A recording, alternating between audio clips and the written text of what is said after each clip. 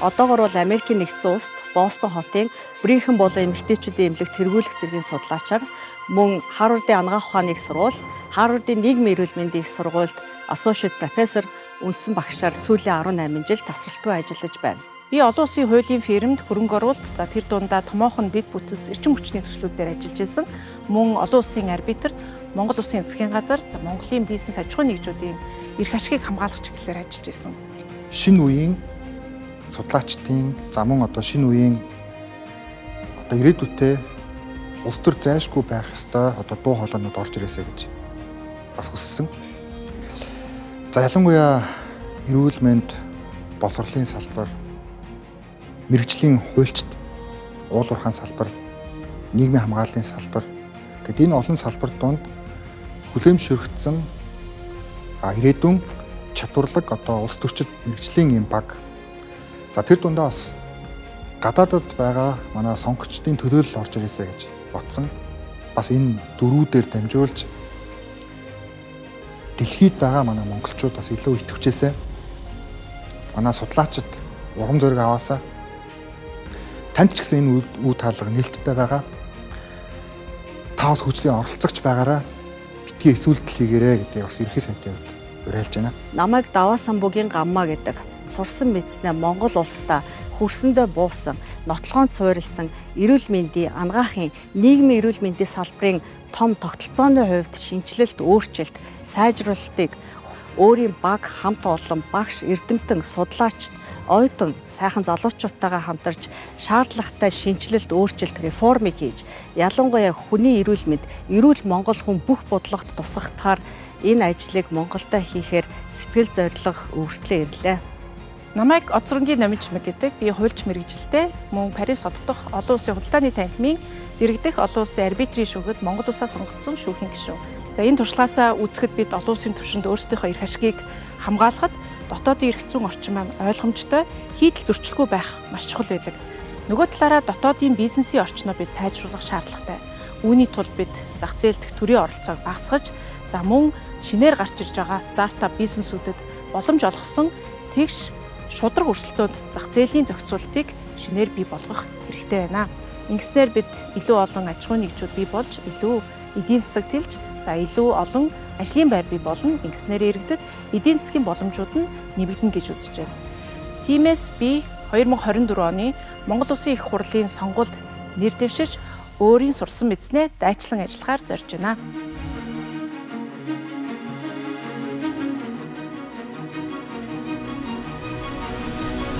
Ерөнхий сайда багаар нь дэмжи.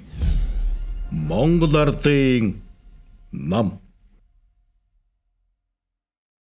За эрүүл мэндийн салбарт хийх гэж байгаа шинжилт өөрчлөлтийн талаар өөрийнхөө саналыг хэлье. Өөрийнхөө саналыг хэлэхдээ сүүлийн жил 20 жилд хийгдсэн Монголд хийгдсэн судалгааны ажлуудынхаа үндсэн дээр суурлаад ярих гэж бодож байна. Монгол хүн өөрийнхөө хөрсөндөө өөрийнхөө орчиндөө эрүүл амьдрах, эрүүл амьдрахын тулд ямар өвчлөл, халдварт уу, халдварт бус өвчлөл үү яаж нэрэгдэж байна, энийг яаж таслан зогсоох уу, энэний эсрэг ямар арга хэмжээ авах уу гэдгийг бодиттой зөв мэдээ мэдээлэл нэгтгэх нь биднэрт маш чухал байгаа. Монгол Ардын намын хөтөлбөрт бид нар эрүүл мэндийн эдийн ажилтан ажилтнуудын чадхыг дээшлүүлэх, эмч сувилагч сувилахын ажилтнуудыг дээшлүүлэх, бүтцийн хувьд реформын шинжилэл хийх, удирдлагын реформын шинжилэлт хийгсэн байна.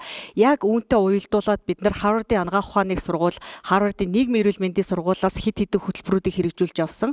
Үүнээс хамгийн ихнийх нь жишээлбэл Training to Teachers буюу ашуус бусад хувийн анагаах ухааны сургуулиудын багш, эмнэлгийн ажилчид эрдэмтэн багш нарыг сургасан ийм сургалтыг 100 хүнд хийж явуулсан байгаа. Тэрний дараагийн сургалт нь болохоор Training to Clinician буюу C2C гэдэг хөтөлбөрийг бас эмнэлгийнхаа эмч ажилтан судлаач эмч нартай зориулж ийм судалгаа бөгөөд сургалтыг хийж явуулсан. Одоо энэний 3 дахь үе нь буюу Training, Leadership, Health Leadership гэсэн сэдвээр мөн бид нар Малайз, Бостон хотод, Улаанбаатар хотод дамжсан байдлаар 9 сарын хугацаатай энэ сургалтыг эрүүл мэндийн сайд их болд энийг манлайлан оролцож энэ сургалтуудыг мөн амжилттай хийж манай сайхан залуу шинэлэг чадaltaй хүмүүс маань төгсөж ирээд одоо өөр өөрийнхөө салбарт өөр өөрийн гэсэн лидершип ролыг үзүүлээ явж байна. За сургалтаас гадна бид нар хийх ёстой зүйл нь юу вэ гэхээр зэрэг гол нь өвчлөлийг бууруулах гэж ярьсан. За бид нар мэдж байгаа халдварт бус өвчлөл тэр тусмаа одоо илэгний хавдар, бусад гарлын хавдрууд, зүрх судасны өвчл, зүрх даралт ихсэлт, таргалалт зэрэг өвчлөлүүд манай Монгол улсад ялангуяа насанд хүрсэн хүмүүст маань хамгийн ихээр тохиолдож байгаа. Эдгээр өвчлөлүүдийг бид нар яаж бууруулах ёстой, юу энэ шалтгаан болоод байгаа талаар бид нар олон жилийн судалгааны ажлууд хийгдсэн.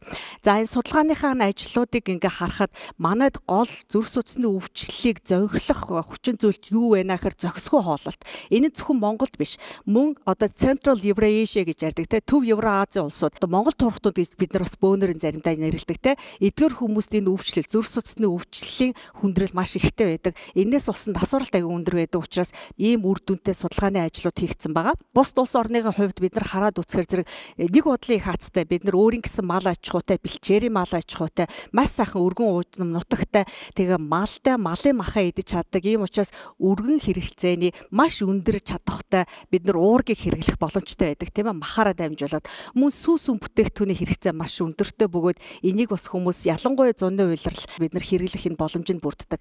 Гэхдээ тэнцвэртэй хоолт гэдэг бол зөвхөн мах сүүний асуудал биш. Энэ дээр нэмэлтээр бид нар бас юу юу хэрэглэх ёстой. Яагаад манайд энэ зохистой хоолны алдагдал зарим тохиолдолд гараад байна гэдгийг товчхон ярихыг бод. Монгол хүн яг Монгол хөрсөн дээрээ амьдарч байгаа өвөл 100 те хот хөдөө ажиллаж байгаа нөхцөл байдал эдийн засаг нийгмийн үр дагавараас үл хамааран ямар хүмүүс ямар хоол хүнсийг яаж идээд хүний биед юу н ороод юу н дутагдаад юу н илүүдэд байгааг маш тодорхойгоор ойлгомжтойгоор бид нар хүмүүстэй хөдөө орон нутаг буюу одоо хамгийн газар зүйн байрлалаар тийм үү? Говь ханга хээр бүс за тэгээ Улаанбаатар төв аймгийг оролцуулаад хид хідэн одоо 8 аймагт бид нар судалгааны ажлуудаа өвөл зуны явцад мал малчид дээрэс нь хот хөдөөгийн амьдарч байгаа хүмүүс офисын ажилтан гэдэг хүмүүст бид нар судалгааны ажлаа хажууд нь дагаад ажлын өдөр амралтын өдөр яг гэрт нь байрлаад ямар хоолунд идэж ямар шингийн хэрэгжилж тэднэр цусандаа ямар байдлаар илэрж а тэгээд дараа нь энэ хүмүүсийн эрүүл мэндэд хэрхэн нөлөөлж байгаа талаар одоо 6 жилийн хугацаатай хийгдсэн судалгааны ажил байгаа. Энэгээр ингээ харахад ерөнхийдөө бол би тэд энерги гэж ярьдаг шүү дээ. Хүн чинь өөрөө энергиэр л явдаг те. За энерги гэж юу хэрэг хэлээд байгаа юм бэхэр чи макро шимт хижээл буюу уураг, өөхт орсон, нүүрс ус гэх мэтчлэн бодисороо бол бид нар хөгжингүй орн Америкч вэ, Европч орнуудтай яг энэ тэнцүү буюу энергийн хувьд магадгүй зарим газар айрыг их хэрэгэлдэг, арх их хэрэгэлдгээс хамаарат энерги нь бол өндөр илүү их байна. Үүнээсээ бид нар авах хөстэй бичил шимт хижээл буюу одоо тэрэн дээр чинь амийн хүчлүүд орж ийн, минералууд орж ийн, зайлшгүй байх хөстэй бидний одоо шим хижээлүүд хүмүүсийг эрүүл саруул амьдруулах хөстэй энэ бодисууд аваад үцхээр зарим нь маш сайн хангалттай боловч зарим нь учир дутагдaltaй байна. За учир дутагдaltaйгийн жишээлбэл эндээс би зөвхөн нэгэн витамин дээр буюу витамин B9 гэдэг. Гэхдээ хүмүүс фоли хүчил гэдгээр нь илүү мэддэг. Фоли хүчил дээр тайлбарлая. Фоли хүчил гэхэд бид нар хот хөдөө хаана ажиллаж байгаа, юу хийж байгаа, нийгэм нийгмийн байдал нь ямараас үл хамааран бид нар хоёр дахин бага хэрэгжилж байна. Хоёр дахин бага хэрэглээд байна гэдэг чинь нөхөн үржих насны эмэгтэйчүүд хүүхдүүд эрүүл саруул төрөх энэ нөхцөл бүртгэхгүй байх их аюултай. Үүнээсээ гадна бид нар бас эслэгийн талаар товчхон дуртчих. Эслэг бол маш чухал юм. Эслэг гэдэг нь бид нар ногоогоор хөвчлэн хүнсээр авч болдог. Эслэг нь биднийг хэрглэж байгаа өндөр калорилог хоол хүнсийг харьцангуй саармагжуулж биеэс гадагшлуулж хордлогын тайлах энэ дээр одоо хүний гидсний үйл ажиллагаа ажиллагааг сайжруулах хэмжээтэй маш том үйл ажиллагаатай бидний энэ хэрэгцээ хэрэг эслэг дээр маш өндөр боловч Монгол хүмүүс харьцангуй маш бага ялангуяа хөдөө орон нутагт бага хэрэгжилж байна. За энэ дээр тулгуурлаа бид нар бас нэг юм шиг юу хийсэн бэ гэхээр зэрэг Монгол хүний аюулгүй байдал, эрүүл байх орчныг бүрдүүлэхийн тулд бүх Монгол хоолоор хоол хүнсний датабейс гэж юм гаргасан. Юу гэсэн үхээр за өмнө говьд байдаг нэг малчин өглөө усаад нэг аяг аарцуулаа. Хэтэр аарцанд нь ямар төрлийн витамин байгаа, ямар төрлийн минерал байгаа, ямар төрлийн бодисууд байгаа те хичнээн килокалори авч байгаа. Ингээд бүх хоол хүнсийг хорхогч байд юм уу? Эсвэл одоо Монголд зөвхөн хэрэгэлдэг хоол хүнс өөр газар хэрэгэлдэггүй хоол хүнснийхийг те ингийн тулд хоол хүнсээ химийн хувьд бас юу шинжлэх хэрэгтэй. Цуснд дараа шингэсэн бичил шимт хижээлийг үзэх ёстой гэх мэт маш олон тест дараалтаа. Энд бас нэг э, асуудал гарч байгаа. Бичил шимт хижээл дотроос яг дөрвөн бичил шимт хижээл буюу энэ дөрөв бид нар хоол хүнснээсээ бүрэн авах ямарч боломжгүй. Бид нар энэ дөрвөн бичил шимт хижээлийг бид нар ямар нэгэн байдлаар өөр газраас авахгүй бол Монголын жирийн хүмүүсийн хэрэгэлдэг байдлаараа хаваад бид нэр эрүүл байх хэмжээнд авч чадахгүй байна гэдэг өрөнд өгнөлтөнд хүрсэн. Монгол хүмүүс их хацтай хүмүүс бид түрүү ярьсан те. Одоо бүх юм нь биднэрт байгаа байхгүй. Одоо бус оронд чинь тэгэл малаа бэлчээрээр бэлчүүлээл а тэгээд яг тэр э, фармын аж ахуйр бүгдийг шахахгүйгээр эрх чөлөөтэй мал нь явж байгаад өөртөө эрэхтэй өвс тижээлээс хоол хүнсээ аваадах боломж бага штэ. Тэгэхээр чин биднэрт бол энэ нь бол байна. Байгаа болцоон дээр ашиглаад одоо жохоо л өөрчлөлтөө жохоо л зовхлох өвчнөө бууруулах асуудлууд буюу түрүүний миний нэрлсэн бичил шим тижээлүүдийг ногоо эслэг өөр төрлийн хоол хүнснүүдийг хэрэглэхэд биднэрт эрүүл саруул урт удаа наслахын боломж нь бүрдэж байгаа. Мэдлэг мэдээлэлээ бид нар сайжруулах маань. Жишээлбэл манай Монгол үнэний сүг, Японы, Америкийн юм уу commercial дэлгүүр зарж байгаа сүгтэй харьцуулахад бид манай Монгол үнэний сүг бол үнэхээр органик, үнэхээр цэвэр, ямар нэгэн даавар энтер байхгүй их сайхан одоо чанартай гэдгийг мэдгдсэн том судалгааны юм үр дүн гарсан байгаа бүхэл үр тариаг хэрэглэснээрээ бид нар юу янаас урчлан сэргийлэх боломжтой гэдэг юм бэ гэдгийг товчхон яриа. За ургамал ногоо, навч, спинач, жимс идэх гэхэр зэрэг яагаад гэдгийг бас бүрэн ойлгохгүй байж магадгүй.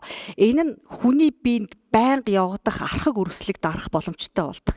Зөвхөн эслэгийн хэмжээч биш энд флавоноид гэсэн ойлголт орж ирнэ. Энэ флавоноид бол хүнийг эрүүл саруул урт наслах, тэгээ эсийг өөрөө өөрийгөө цэвэрлэх тийм ээ, хорт муу бүтээгдэхүүнээс салах, эс дотор чи митохондр гэж жижигхэн бодис байгаа тийм. Энийг цэвэршүүлэх энэ процедурыг бүгдийг явдаг учраас энэ үнэхээр чухал. Энэ бол үнэхээр архаг бус тийм халдварт өвчтнийг бууруулах, тархалтыг багасгах, одоо энэ чихрийн шижиг хавдрыг багасгах маш том эрсдэлт хүчин зүйл болдог учраас энийг би чухалчлан яриад байгаа гэдгийг ойлгоорой. Э, бид нар тохиолдож байгаа асуудал бас архины гаралтай биш илгэний э, өөхжилт. Аа тэгээд э, таргалалт те ингээд архаг өрөвсөл гэдэг юм явагдаж байгаа биднэрт нэгэнт энэ сайхан сүүн байна, махан байна, өндөр чанарын уурган байгаа мэт чинь дээрэс нь нэмээд хөдөө аж ахуй бусад салбарын өөрчлөлт, урт хугацааны өөрчлөлтөндөө бид нар одоо ургамал, ногоо, шим тижээлэг агуулсан бусад одоо хоол хүнсний зүйлийг нэмэхтэй эдгээр дээрэс нь боловсруулаагүй бүхэл үр тариаг хэрэглэх гэх мэт маш олон өөрчлөлтүүдийг харьцангуй амархнаар хийх шийдэх боломжтой. Тэгжээж бид нар энэ өвчлөлийг бууруулна.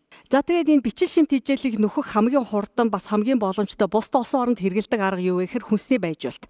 Тэгэхээр бид нар энэ хүнсний байжуулалтын суурь судалгаа хийж бас энэ дээр нэлээд олон ажлууд хийгдсэн байгаа. Энэ бол ингээд хэрэгжилтэндээ ороод явнаа. За дараагийн бидний хийгдсэн том ажлууд буюу гол нөгөө архаг түрүүн би одоо халдварт бус өвчнийг ярьжсэн бол одоо халдварт өвчин чи ялангуяа бага нас 5-аас доош насны хүүхдүүдэд их тохиолдод манайх өвөл болохоор зэрэг одоо эмнэлгүүд дүүрдэг шүү дээ те одоо ханиад хатха сүрийн өвчин дээрэс нь сүүлийн үед бол сар тахлыг бид нар мэдчихэе ковид тийм ээ амьсгалын замаар халдварладаг.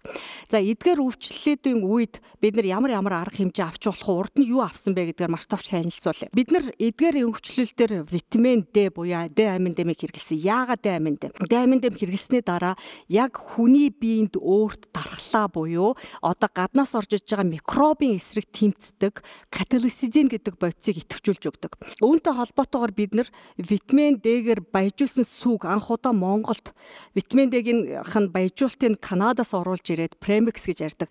Тэрийгээ сүүндэ баяжуулаад хүүхдүүдэд өгөхөд 50%-аар амьсгалын замын хурц халдварт буурсан ийм сайхан үр дүн гарсан.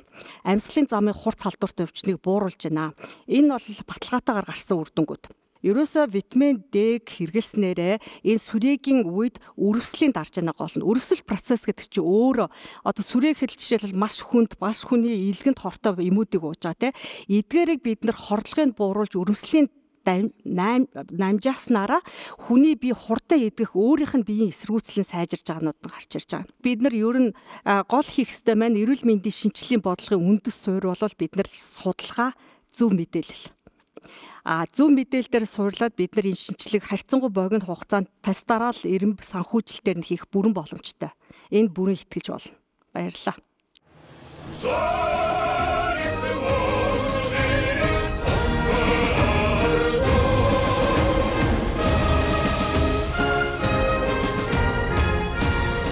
Ард түмний ялалт. Улсын хурлын сонгуульд Монгол Ардын намаас жагсаалтаар нэр дэвшигч Даваасан бүгийн данма. Монгол Ардын нам. Ерөнхий сайда багаар нь дэмжээ.